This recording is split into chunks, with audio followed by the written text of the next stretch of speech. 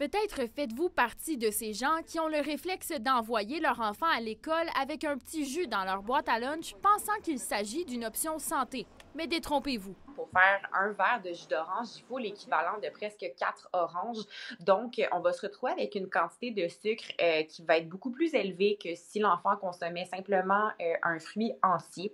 Donc, ça peut contribuer à avoir un apport énergétique euh, qui, qui est plus élevé que les besoins de l'enfant. Les enfants qui prennent quotidiennement un verre de jus de fruits risquent de développer un surpoids en raison d'une trop grande quantité de calories liquides, selon une nouvelle étude publiée par l'Université de Toronto et de Harvard Medical School. À l'époque, il faut se souvenir qu'on disait, et même dans le guide alimentaire de l'époque, ben prenez du jus, vous avez votre vitamine C.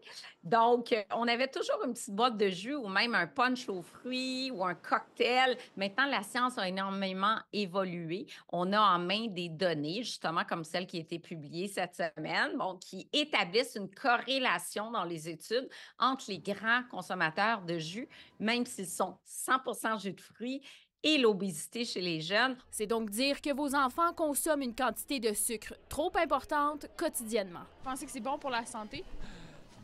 Oui, du moment qu'on a des apports en lait suffisants, pour moi, il n'y a pas de, pas de problème. Oui, c'est bon pour la santé, vu que le fruit, il est bon.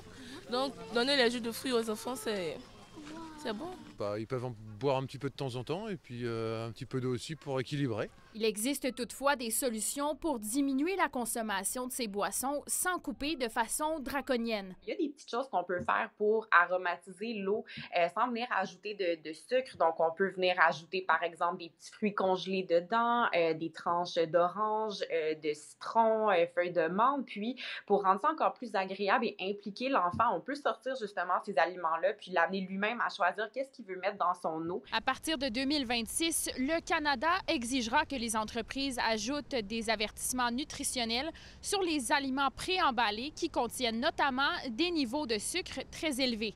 Sam Sarah Rainville, TVA Nouvelle, Montréal.